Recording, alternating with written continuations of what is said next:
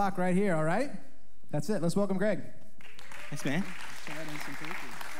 You got the mic? All right. Uh, you know, he called it the Super Bowl party earlier in the service, so we did instant replay, and you were in violation, Chris. All right, so um, yesterday uh, there were about 130 plus that were gathered here for uh, the Parent Summit. And yeah, it was a great morning. Great morning and afternoon. Um, and uh, so yesterday's Parent Summit reminded us uh, uh, the theme was uh, long days and, and short years.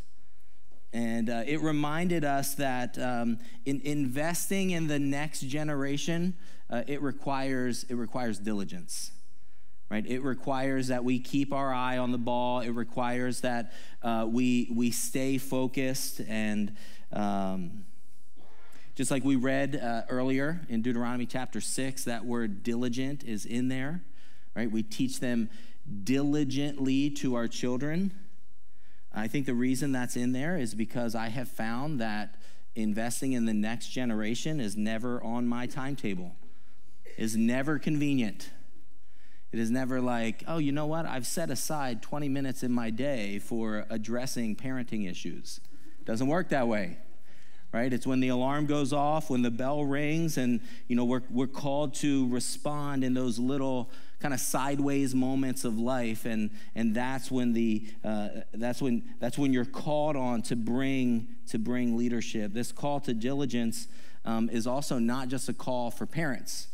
Um, this call to invest in the next generation is not just the responsibility of, of, of mom and dad, it is, it is a responsibility for all of us uh, to, to take seriously what, what's coming next for the generation after us. And so, because we're talking about parenting, and, and you say, well, I'm not, uh, that's not, that's not me, that's not either my stage of life or, or that's not part of my reality, uh, do not tune out because you are part of investing in this next generation. Yesterday, it was filled with parents, certainly, grandparents, uh, but it was filled with uh, aunts, uncles, school teachers, children's ministry workers, youth ministry workers, people that are just taking seriously, hey, I, there's a responsibility I have in investing in the next generation. And so that's, that's for all of us.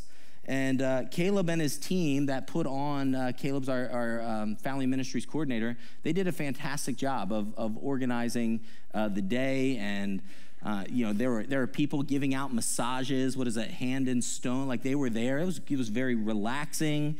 Um, I, I didn't get mine scheduled, so Caleb, if we could make sure I get an appointment, get my massage in. Um, but it was, a, it was a wonderful day. Like they thought of a lot of details, and it was a real gift for us. But I did find when I went home, um, it like there's still some holes there. Like it wasn't by like 10 p.m. we had implemented everything, and then the household was perfect. It didn't. It didn't quite work that way. Um, I, actually was feeling a little bad for all of the kids, you know, because parents come home and, you know, they're all, you know, loaded with all of this new material that they're going to uh, implement. And so the kids are probably like, whoa, what on earth happened at that thing? But so today, as we get up and we start our day, we're, it's not, we're not finished yet right? The, the call on us to be to be diligent wasn't just for saturday afternoon and into the evening and and then everything's all set. Um, it's it's a constant need for us to keep our eye on the ball to stay to stay focused and so uh, what i want to do is spend some time answering some questions that emerged out of yesterday's time so that you can get a, a little bit of a taste of, of what uh, of what we had so i have some panel members so if you guys could come up uh, I have uh, Mark Raybold. Um, I have Caleb and Sarah Howard. And I have Ken and Eileen Hill, my parents. Um, Yep, so you can uh, uh, welcome them if you would. Welcome everybody up here. Go, you can you can you can sit. I'm gonna stand. Yep, yep, we're good. All right, so uh, Mark uh, Mark Raybold uh, there on the on the left. He has um, uh, he's been a school teacher for a number of years. currently teaching in Bridgeton, right, Mark? Um, and then my parents. Uh, they, they oversee our, our, our, marriage ministry here at the church. um, and they raised me. So you're, um, hopefully we can keep our stories away from, from me as much as possible. Um, and uh, Caleb and Sarah, uh, Caleb's a, a, school teacher. Caleb and Sarah have invested in the next generation for years, uh, working in summer ministry uh, and in a number of different things. Uh, so uh, they're, they're the kind of people that when there's a question around parenting, I, I would want to hear what they have to say. Right? There's some people that when you know there's a question that's asked and they are giving an answer, you'd say, well, I don't really want to hear what they have to say. Uh, but this group of people I would, I would tune into. So I'm, I'm going to invite you to, um, I'm going to invite you to listen up. And uh, so we're going to start with uh, Mark. I'm going to direct a question your way. Um, so Mark, oh, I have this on the screen. Uh, how do you teach a child to come under and respect authority who was never trained to do so? Uh, you take out a laser gun, you know, those stun gun things, they work really well. I, I want to tell you my world. I'm a middle school teacher. A lot of times a groan comes out, but no, not this. I teach in Bridgeton, and I teach middle school science. Like, not always the favorite subject. Um, so picture the students that are coming that are coming to my classroom. Um, we have 100% of our school is on free and reduced lunch, which is kind of the state standard for looking at poverty. Um, a lot of them are coming from very fractured families. So, coming under authority when you're never trained to do so, that's a lot of my kids. A lot of those middle school kids that we like to put into a bucket and then open the bucket up in about three or four years. Um, but, but part of the authority, part of the issue with this question comes, comes to how we define authority. And if authority is, and, and I'm going to use the analogy of me with the classroom, and then you can kind of bridge that to parenting a little bit, because right now that's my world. The, um, it's not my standing up in front of the class and saying, You're going to do it my way. It used to be, right? Sarah was when, in my class when I was at the Cumberland Christian School, and, and I really had a distorted view of authority. It was like, this is the way you're supposed to do it. And uh, thank God I changed, I guess. But, but now I'm looking at, at the kids and thinking they need to understand who, how I'm under authority. Um,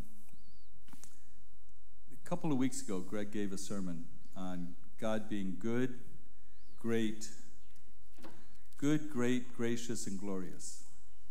And if you haven't heard that sermon, you need to listen to the podcast. Uh, for me, it was kind of a life changer. The, um, if you did hear the sermon and you thought, yeah, you know, it's cool, it's another sermon, you need to go back and listen to the podcast because you missed something. So when I'm standing in front of my kids, I want to demonstrate to them the person I'm under authority. So I look to, to my, my father. And my father is good. He's great. He's gracious and he's glorious. And so I demonstrate that to the kids. I'll say, you know, I want you to be under my authority because I want to be good. I, I, I want you to understand that I have your best. Mm-hmm. And that if you listen to what I have to say, I'm not doing it for my ego. I'm doing it because it's going to benefit you. And you might not like it right now, but, mm. but in the long run, you'll see that, that uh, I'm trying to be good like my father is good. And the one I'm under authority is, is great, and he can change circumstances. And yeah, when you're in front of a classroom of kids, um, you know, I have that grade book and I have that stun gun. No, I don't have a stun gun. But, but I can alter circumstances. So the kids need to know I love them. They need to know I can change things. My God is gracious. And so when I model the one that I'm under authority, and I, I try to model, you know, try to put that characteristic over to my kids, I, they need to know that they're not going to be perfect and that I can forgive them. And so, okay, so they come into class and they're chewing gum for the upteenth time. I have to know my kids. Maybe that kid's going to get written up. Maybe it's going to be, you know what? Can you just spit it out? Or, or maybe you just turn around. You know, but they need to, they need to know that I love them they need to know that, that I can alter circumstances, that I can be gracious and merciful, just like my Father is good, great, and gracious. And then they see who I really um, look to. I think I had emailed Greg uh, with a sermon said, I don't understand this glorious part. And he was really good in a response that kind of clarified it. Now I see that as the most important part. And it's like, who's really important to me? And if the kids, I teach in a public school, but every one of those kids will tell you that, that God is my king. Hmm. And, and that, that wall of separation of church and state, I've been 30 years teaching. Nobody's ever challenged it or anything like that. It's made out of paper. I don't have to preach, but they have to know where I'm coming from. And I now have 160 kids, and I literally can walk into a classroom that's out of control because a teacher hasn't learned how to, how to do authority. I can walk into the classroom and say, Guys, what's up? I don't have to raise my voice. They know that I love them like my father loves me. They know that um, I can change circumstances and he has everything under control. They know that I'm gracious, and as I've been forgiven, I'm willing to forgive them. And they know who I look to. And um, so I think if we define authority as do what I tell you to do, um, we're going to have problems. but if we define authority as looking at the one that we're under authority, I think I think that's a key.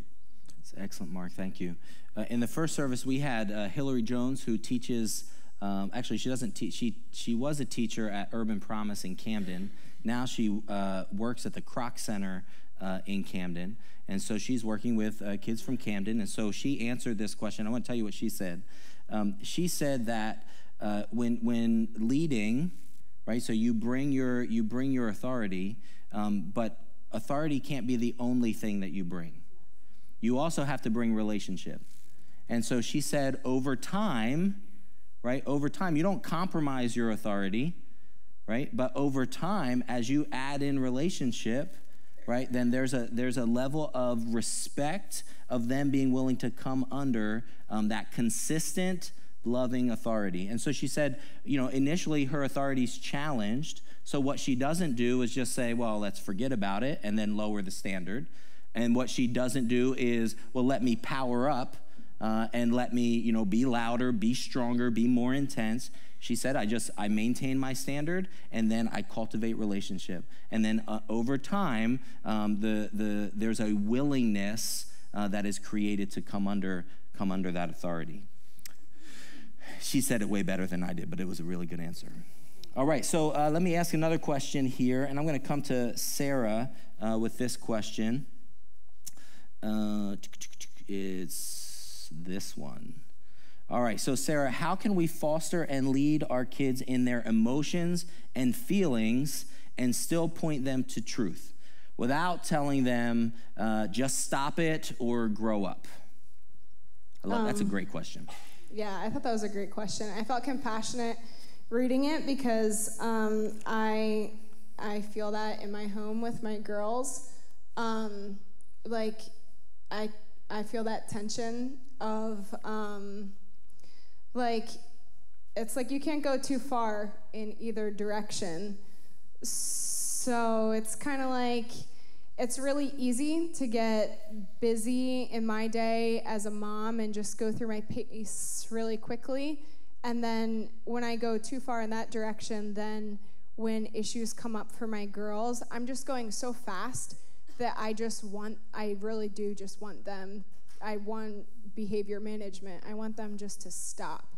So I just kind of want to be like, don't do that, or don't feel that, or just like come in line, just do the right thing. And uh, so that's like too far in this direction. And then I think I can very easily also fall in the other direction of like coddling their emotions too much, where it's like there's just so much room for their emotions that there's no there's no directiveness or there's no like well this is the right thing to do with your emotions and this is like what i'm teaching you about how to deal with your emotions. So um, one thing that i try to keep in mind is um, slowing my own pace down so that I know what is happening in my girls' hearts. So if they're like, uh, if like there's something coming up in terms of like resistance or defiance or disobedience, I try to kind of figure out or leave space for myself to process like what's going on inside of that. Like, why are they doing that? Where is it coming from? Because um, if I don't take time to process that, I will fall more in the category of like just trying to move them along into behavior management. So, um, and then normally, if I know what is behind it, then um, I normally have to look outside myself for a little bit of help for how to be directive because I'm not very directive. So I normally have to ask my husband to like kind of help me um, talk to my girls about their emotions. Uh, so if you're like me, you might need some coaching along the way to know how to be a bit more directive in terms of like emotions. Because i i mean i think in this day and age we really do coddle emotions a lot and we are i don't know. So i don't know if you have anything extra add to, to add to that. Yeah um, yesterday one of the pictures that i used was uh, in in parenting for us to us to lead well uh, we have to balance two things. We have to balance expectations that we're bringing as well as nurture right? So we want to be, be high in terms of expectations. Like we want, we have vision for our children, but we also want to lead them and nurture them to grow into uh, those expectations. So we don't just throw it on the table and say, do it, deal with it. Uh, here's the consequences, but we want to empower them to do it. And part of nurturing them is emotions are part of who they are, right? God hasn't made us emotional beings. So, one of the things that we need to do is teach them what is the proper place for their emotions. Right? So, um, and a lot of times, what, what I, will also teach them of, um, so like emotions are, are part of who you are. And so you express your emotions, but now's time not to express your emotions. Right? Like, so, you know, you've been upset and, and I hear you, you know, that you're sad and I'm sorry about that, but now, now we have some things that we need to do. And we can come back and address that later on, right? But but we, we have some we got some stuff to do here. Um, so we're gonna we're gonna move into that. So we we help them navigate. Okay, there are emotions. We validate the reality of their emotions, and that's how they're feeling. But emotions, it's not emotions equal actions right? That's a that's a huge paradigm right there right? Emotions don't equal actions. There's something that god has given us that we would call our volition right? We exercise the will and we make decisions based on like the will and the mind are engaged and then we choose our behavior. We don't let emotions drive the train right? They're not the engine. So all of our behaviors just flow out of our emotions? No. That is not healthy that leads to all sorts of destruction. So we have to train our children in that as well. Yeah, you have emotions, I understand that, but there's a proper place, a proper uh, a, way to express those emotions. Um, and so we lead them uh, in order to do that. And sometimes that means, listen, I understand that you're sad, but now's not the time for, you know, there's times where I say, you need to stop crying now. Like, this isn't that big of a deal. This, I see, it hurts, but we have other things that have to go on in our life other than you know, you lost uh, Mr. Scrunchy Pal or whatever the, the toy may be. Um, so uh, that was uh, Jude's toy. He's 15, Mr. Scrunch. No, I'm just kidding. That wasn't his toy. Um, all right, uh, let's move on to another question. I'm going to go to our last question here. Um, I'm sorry, I have three other questions I'm going to ask. Um, there it is. So, what if, and so, mom, I'm going to ask, uh, start with you on this one. What if we are feeling stuck as parents? Like we feel overwhelmed, and it seems like there are too many issues. And so, then every time we step into one issue, um, it kind of creates some more issues that then we have to deal with. Um, so, uh, like, what, what do we do when we feel stuck like that?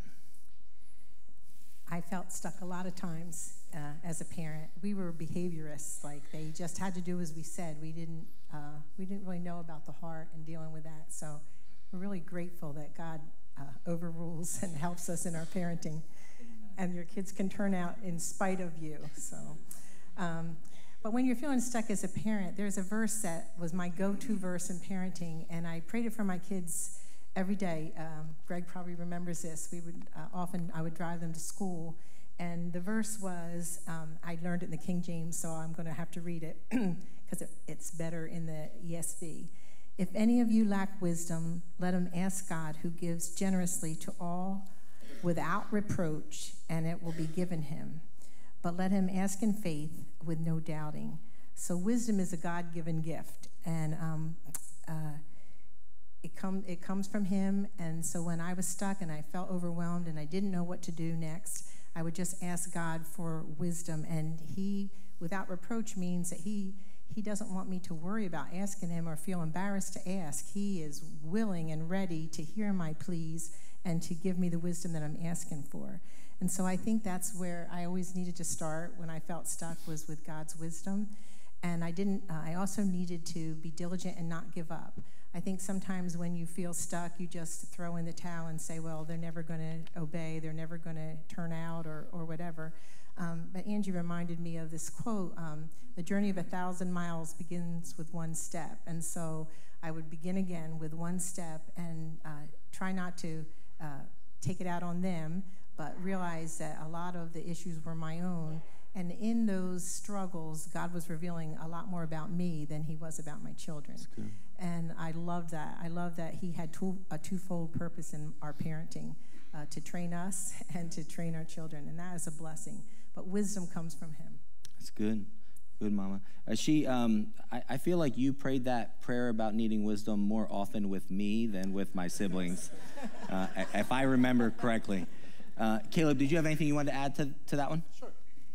Um, I watched uh, um, like a seminar by this guy named Paul Tripp um, this September, and he said something interesting about that that I that I thought was really nice. He said every time another issue comes up, every time like there's misbehavior, every time there's like attitude, he's like don't don't necessarily interpret that as something negative. Um, he said every time the attitude comes up, the all that that's that's a grace. That's like a nice thing because in that moment, what the Holy Spirit is doing is the Holy Spirit is highlighting a mm. place in the child's heart or the teenager's heart that he wants his light to come to. And so uh, sometimes as parents, we don't know what to do. We don't know what to focus on. We don't know like what direction to walk in. Well, the attitude, the frustration, the overwhelm, the the the conflict, that's like the Lord saying, This is where I want my light to come. So sometimes we feel like, oh, because we feel like the ideal would be no issues. The ideal would be just like a seamless day with no problems. But our hearts aren't seamless, no problem hearts and the Lord doesn't have desires just to like love and interact those that are seamless and like not overwhelmed. The Lord has come to us in our darkness, in our mess, and that's how He wants to come to your children. So maybe we need to train ourselves not to think like, oh, here's an issue. Oh my, I, I don't know what to do. Paul Tripp says, why don't we just say, this is a grace. Lord, this is where you want your light to come. I don't know how to have your light come here, but I want it. Th- thank you for this moment. you said something in the very beginning that like you said that you were behaviorist and did all these different things but then god overruled it or what was it if you have older kids you should be saying amen yeah that's all i mean you don't have the pressure to get it all right that's god's job god's more interested in your kids than you are and so if you mess up welcome to the world right we're, we're both learning but but so glad that God overrules. And I, I, I wanted to punctuate that. Yeah, that's good. Sarah brought that up in the, in the first service as well. Um, just this theme of even the the cracks or the failure of her parents, uh, right? God has used that in your formation. It was hard, but God has used that in her formation for for the good, right? Beautiful things have have come out of those those ashes, and that's mean, really that comes down to how how much hope do we have in the power of the gospel, right? Can, can Jesus really bring things back from the dead? And the answer is, is yes, right? And so we, we see that. Okay, last question. Uh, I've been holding off to ask you a question, Pop.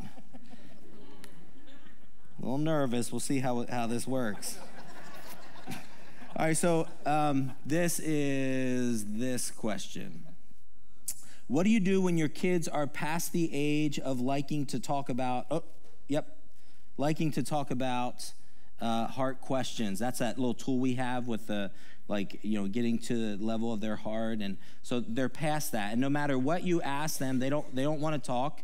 Um, or, or what do you do when your 14 year old doesn't even want to talk about anything uh, or doesn't even want to have a family meal with you anymore? Well, first of all, I think you need to know a little bit about me. My parenting style was a little different than some of you folks out there, and they probably didn't teach this in the seminar very well. but when my boys misbehave, I used to tell them, You better straighten up, or I'm going to rip your limbs off and beat you with the bloody stumps. and my wife True. would say, that's harsh. You can't say that. So I said, all right, I'll just rip one limb off and beat you with blood stumps. You probably don't want to do that. It didn't really work out too good. And you can see he has all this. I straightened so, up. So it, it worked.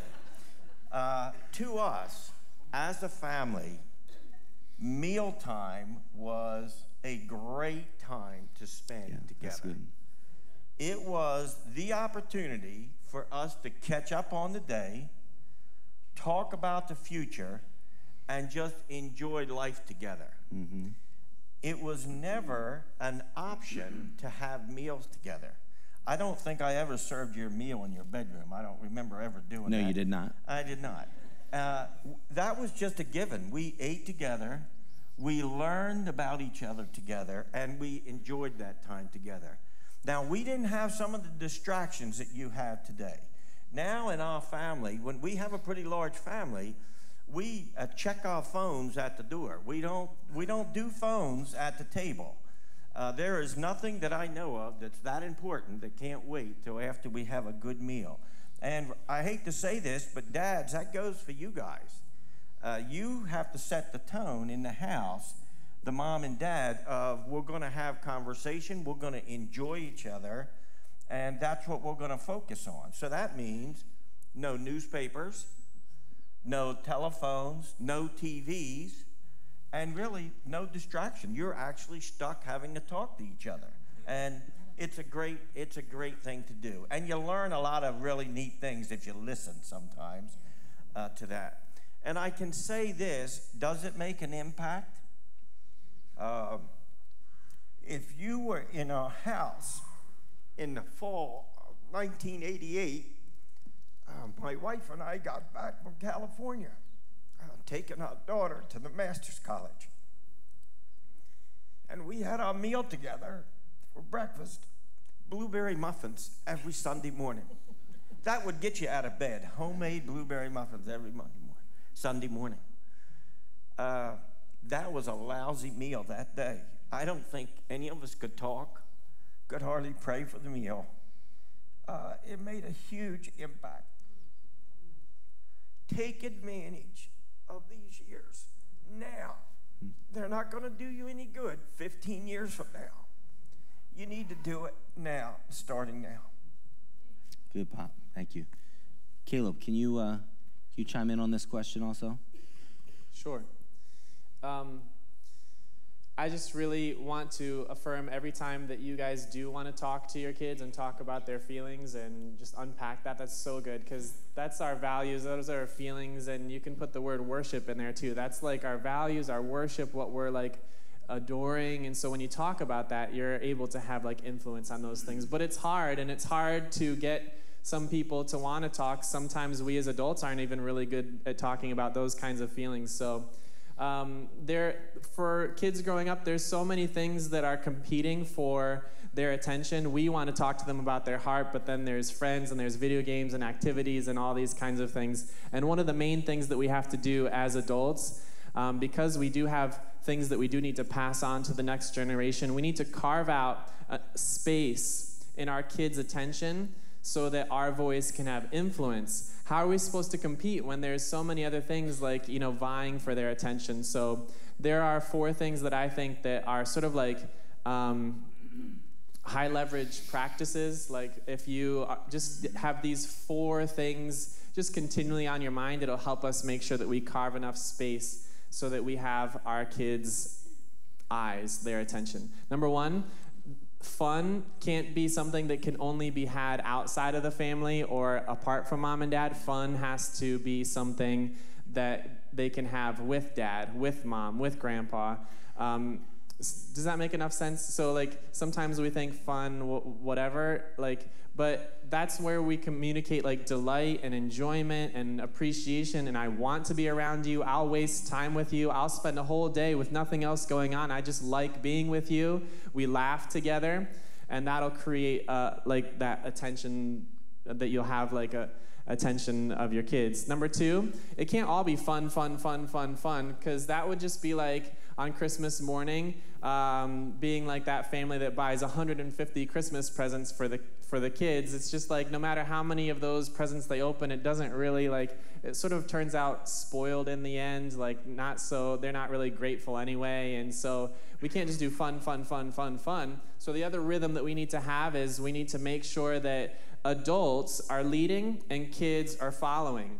Adults are leading not just with like giving instructions and you better obey, but you know what dad says like I, I, it sort of has weight in the room like i sort of do it and i do it because we've had fun together and so i like this guy and he actually his values in life and what he's committed to in life like i really respect that it's it's almost a little bit like like he's on an epic journey and I want to go in his direction. So we need to have rhythms of fun, rhythms of adults leading and kids following. Number three, we need to make sure that what's on the inside, what are our feelings, what are the things that we get upset about, all this messy stuff, that it doesn't stay hidden. It doesn't stay like we can't talk about that or like I just hide that from my family. What's on the inside needs to be talked about on the outside 100%. And the last rhythm that we need to have in our family is that Jesus is not just for Sunday mornings. Jesus is not just for like devotional times. Jesus is for every moment, every thought, every challenge. Jesus is for depression. Jesus is for like every moment of every day. If our kids hear without words that Jesus is just something that I say like before we pray for a meal, but then it doesn't have anything to do with like my decisions about my finances or my interactions with neighbors or all those kinds of things, all of these heart talks that we're going to have, they'll just be like not so valid in the kids' lives. So, culture of fun, adults leading, kids following. What's on the inside is what you talk about on the outside, and Jesus matters for every moment of everything of every day. A uh, little bit of like correction is I didn't see a lot of pens moving or people typing that. You you want to get that those four things down. Right, that, that's really good stuff. So, Caleb, can you say the four again? Because I have them written right here. But my handwriting's right, really sloppy. so number one is fun, culture of fun. Fun is had in the home with mom and dad. And number two, forget it. What parents, it? parents Adults lead. lead and kids follow. Three, the things that you're feeling on the inside, the things that every member of the family is feeling on the inside, that's what's talked about on the outside. And number four, Jesus Jesus is relevant for everything. Good. Caleb, you should write those down. They're, re- they're really good. Get those down. So, hey, can we thank our panel? They did an excellent job.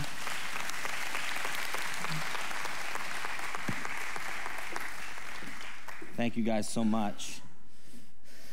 So, I have uh, just a little bit of uh, perspective that I want to bring um, as we move towards the, the end of our time. Uh, but here's, uh, here's kind of the, the reality is that um, I don't know how to get this. There we go. Uh, the reality is this we have to spend some time asking questions because we're imperfect. Right? We, we need things like parent summits and conversations with other parents to, to figure out how to navigate this stuff. School teachers need to talk to other teachers, coaches need, need counsel from other coaches, and we need that because, because we're imperfect.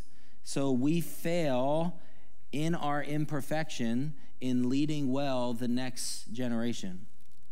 Right? You, you, you know that, right? Like you, you fail in your leadership role. And you and I do that, we do that often. And, and here's what happens when we come face to face with our imperfection, when we come face to face with our failure, that's not such a good feeling right that's not a that's not a um, you know that's not a, that's not a good time when you when you come and you get confronted you know with your with your own with your own brokenness and with that comes a lot of a lot of emotions a lot of uh, a lot a lot of negative uh, uh, a lot of negative thoughts and negative feelings. And so maybe you can you can relate to this. Do you do you feel shame? Do you feel guilt? When you hear stories, do you, do you think do you, do you think back with remorse? Or maybe looking to your future, you feel hopeless, frustrated. Maybe it literally pains you um, to consider uh, your weakness, your immaturity. You think back to those, those outbursts of anger or the times when, when someone that you were leading, someone that you were in relationship with, and they were at a time of vulnerability and you were silent and you didn't show up at the time that they needed you. Maybe it was your tone of voice was harsh or dismissive, or maybe your physical demeanor, right? Like you brought you brought power. Maybe you brought violence. And so, a lot of times when we consider um, what did we do in investing the, in the next generation, a lot of times that, that's a negative thought for us. We, we, we start to feel the, the weight of shame. And so, in light of that reality, I want to give you a word this morning. I want to, I want to give you a word that, uh, that, that I think biblically speaks to that place of, uh, of identified brokenness, and that word is mercy. We've, we've got to understand mercy. We got to understand what, what is its role in our life and, and how much do we need mercy. Uh, often we, we confuse the word mercy with the word grace. So I want to I want to clarify, and they are connected and they're they're similar, um, but there's a difference, and it's and it's an important difference. This is my functional. This is uh, this is my functional definition. So grace is receiving what you do not deserve. Right? Grace is being given something that that you didn't earn. It's just, it's just grace. It was just, it was just given to you. Right? And, and there's been stories about just gracious acts within our church where people like give things to other people. Like over this year, you know, we, we brought up the, the Garcias and some needs that they have. Somebody just gave them a car. Just, just grace. They, they didn't earn it right? It wasn't part of their compensation. It was just, it was just, it was just a gift that was given. That's, that's grace. They didn't deserve it. Mercy is not receiving what you do deserve. There is something that is due to you and it's not given to you. I remember pretty clearly, uh, it was like early 2000s. I think it was probably like 2003. I'm thinking it was around there. And I was um, part time here at the church, but I was driving a truck full time. And I was on my way to Delaware uh, to go to the Delaware Memorial Bridge. I had to go across that bridge uh, to get there. And so I took this road uh, we call the Old Fisherman's Trail. Uh, and so I was coming into Swedesboro. And so the speed limit, you know, slowed down pretty quickly. And I was just zipping along. Uh, and you know the I got that sinking feeling when I saw those blue lights flashing behind me, and so I pull over, and I knew I was just I was speeding, and so the the cop comes up, and you know the, it was it was a stressful time of life. Had two young kids. Jude was little. Isabella was born. Two young kids. I'm working a couple jobs. Don't have I don't have money to spend on uh, a ticket to pay a fine or to uh, have my insurance raised. You know what that's like. And so, uh, so the guy comes up and and uh, he says, you know, do you know why I pulled you over? You know, whatever the standard line is. I'm like, yeah, I, I was speeding and man, it's a really hard time right now. And so I start kind of explaining some of my life circumstances. And I'm like, honestly, can you just give me a break? Like, I, I know I deserve a ticket. I know I was speeding. I just, could you just, could you cut me some slack? I don't think I used the word mercy, but that's what was going through my mind. And the guy let me off. I didn't get a ticket. He's like, I just want you to slow it down. And I don't think I hugged him, but I, I, I wanted to. And but that was mercy, right? Like I deserved a ticket. I was speeding. There's standards, there's fines that are appropriate to that. And I'm driving a big truck too fast. And so I deserved something, but I didn't receive it. That was mercy. He showed me, showed me mercy that day. When we think about the cross, the cross is both grace and it's mercy. The cross gives us what we what we could never earn and what we could never deserve. Right? It gives us God. It gives us a relationship with God. It gives us the indwelling Holy Spirit to guide us. It gives us the promise of an inheritance that is ours, that one day we will be home with the Father. We never earn that. That's grace. God just says, I give you myself. But the cross is also mercy because there was a punishment, there was a penalty, and instead of that penalty coming towards us, it was diverted away from us and on to Jesus as our substitute. So God punished him instead of punishing us. So he extended to us mercy. Mercy is not receiving what I do, what I do deserve. So that's why I wanted to talk about mercy today because I think when we identify those points of failure related to investing in the next generation, when we have those points of regret, we're not just talking about being immature, we're not just talking about being weak, we're actually talking about sin. We are talking about in those moments that, that you are feeling shame most of the time, that's because you were treasuring something other than God. It's because your love was disordered. So anger came out. You were driven more by your comfort. You were driven more by the, the idolatry of, of, of, your ease than you were by the voice of God or the Spirit of God leading you. That, that's not immaturity, that's sin. That's not just like, you know, making a mistake. That's, that's sin. That is rejecting, that is rejecting God. So our parenting problems aren't really parenting problems. They're, they're worship problems. They're, they're sin problems. And so when, when we're dealing with an issue of sin, we've got to we've got to say, well, what does God do to address sin? And the answer is mercy. He gives out, he gives out mercy. So, what I need to do in being confronted with my sin problem, what I need to do is get before God and say, God, be, be merciful to me. God, I, I need you to forgive me. I have sinned against you. I've sinned against that, that child. They didn't deserve what I did. God, I, I need your forgiveness. I need you to extend to me mercy. So, what do you think God thinks about that? And God loves it. He loves when we come to this understanding of our need for mercy. Look at, I'm going to give you a couple passages here Hebrews 4 15 and 16. For we do not have a high priest, Jesus, who is unable to sympathize with our weaknesses. Like Jesus understands what we go through, he understands our vulnerability, but we have one who, in every respect, has been tempted as we are, yet without sin. So, therefore, let us then with confidence draw near to the throne of grace that we may receive mercy and find grace to help in time of need. There's an invitation for us to go to Jesus. He understands we're frail. He understands we're broken. We can go to him boldly because he's one that dispenses mercy. He gives out mercy. Isaiah 30, 18, therefore the Lord waits to be gracious to you, and therefore he exalts himself to show mercy to you.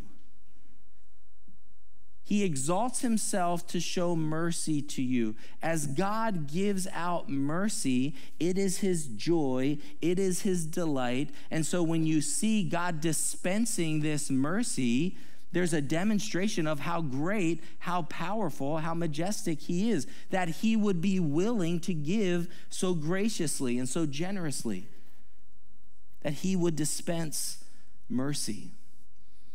I love this one, Ephesians 2 4.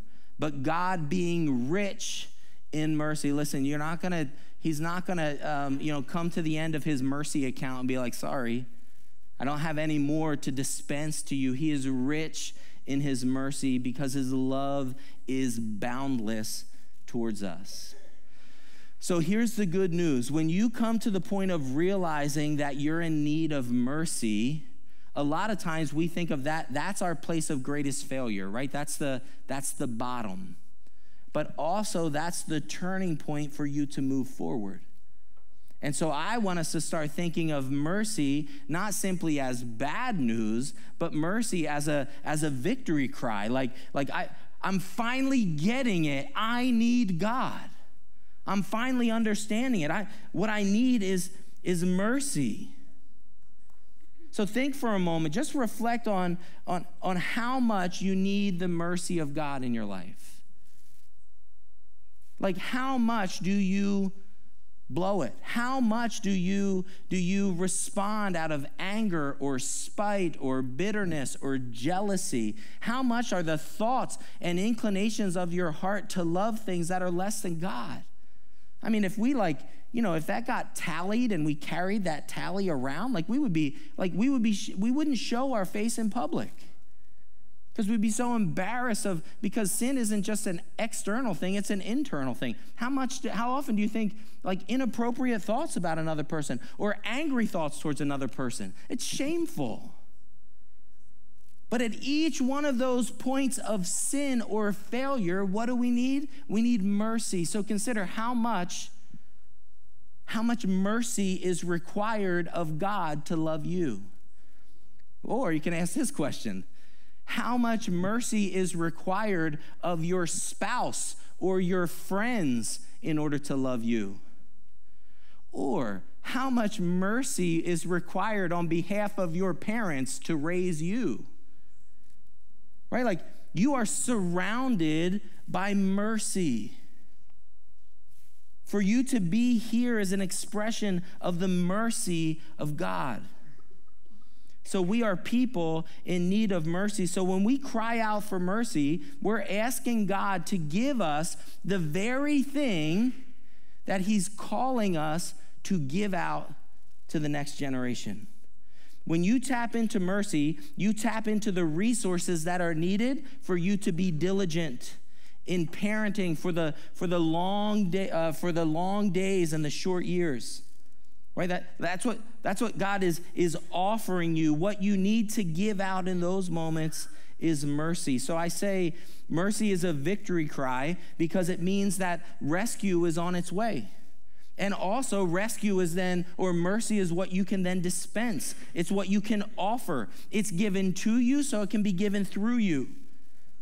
So, as a parent, as a parent, we're like first responders in crisis, right? For our, for our children. You, you realize, like, again, first responders, right? That's when, whenever the alarm goes off, whenever the call comes in, it's not, oh, you know, I, I set aside, you know, 20 minutes at 11 for first response calls. Like, no, it doesn't work that way. It's, it's whenever, whenever the crisis happens. So as parents, whenever the crisis happens, we're the first responders. It's never at our convenience. But our first response does not need to be our first response when we show up on the scene, like Mark was talking about, as the face of authority. What is the character of that face? What does it look like? And is our first response to lecture, to judge, to condemn? No, our first response, because what has been given to us is mercy, our first response can be I step in and I offer mercy. First responders don't take personally, at least I don't think they do. Some of you first responders can correct me later. Don't correct me now because it'll ruin my point, but you can correct me later. First responders don't take the needs of uh, the, the needs of others personally. They don't get mad that that there's a there's that that, that their day's been interrupted and and this crisis has happened, and then they punish the person when they show up. Like first responders are there to rescue. And so, how do we rescue? We don't rescue by showing up in crisis and chuck in the law, right? We, we show up in crisis and we, and we, offer, we offer mercy. Here's what mercy means is that when we show up, we don't show up with threats, we don't show up and offer shame. what we do is we is we show up and we offer mercy. Our actions, our reactions are tempered by this call to, to nurture, to be tender, to be understanding, to be compassionate, to be loving. Now, that doesn't mean you don't bring appropriate consequences, but the way in which you bring those consequences don't need to carry with it the edge of your furious disappointment. It can come with compassion and mercy to lead them. We don't have to punish them with our, with our disposition. Paul Tripp said this No parent gives mercy better than one who is convicted that he, he desperately needs it himself. So start thinking if you want to be one that dispenses mercy, start considering how much mercy is required for the Father to love you. Start thinking, how, how much do I need mercy? And as we meditate on that, then what's going to come out of us is this abundant of this abundance of mercy that we have to give that's been shown to us. So, parents, be patiently committed to this process. Dispensing mercy isn't going to change things overnight. Dispensing mercy is in all the crises, in all the issues that come up, to step in to, and remind yourself that you're a recipient of mercy. You're on a mission of mercy. You've been sent by God, and it's an extended process. So you'll do it today, and you're going to do it tomorrow, and then you're going to have to do it late tomorrow night, and then early the next day in the morning.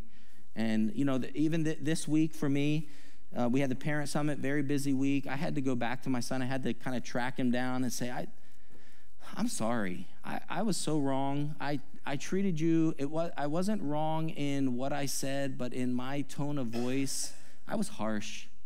And I need you to forgive me. Right? Like, I, and I, that was so important to have that conversation. That's not a proud moment for me. I'm not celebrating that I was harsh with my son, but but I'm a recipient of mercy. So then when I realize what I'm dispensing is not mercy, then I have to go back and I have to I have to admit that I wasn't patiently committed to this process. Here's a quote by uh, Paul Tripp. This comes out of his book Parenting. It's an excellent excellent resource. This is his last chapter in it and he says this, willingly confess your faults it is vital to remember that it's not just your children who are in that long process of change, you are too.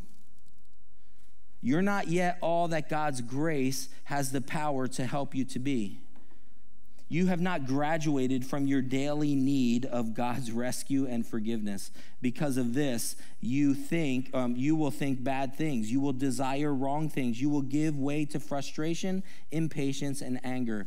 There will be moments when you lose your way. You will have a bad day. You will fall into saying and doing things more out of anger than out of grace. Good parenting is not just about being a good example, it's also about humbly confessing when you haven't if you've blown it. Don't activate your inner lawyer and defendant and justify yourself, but rather cry out for mercy. So, uh, kind of the worship team come up. In a couple minutes, Pastor Chris will, will come up and uh, kind of lead us in a time of prayer. But here's what I want you to be thinking about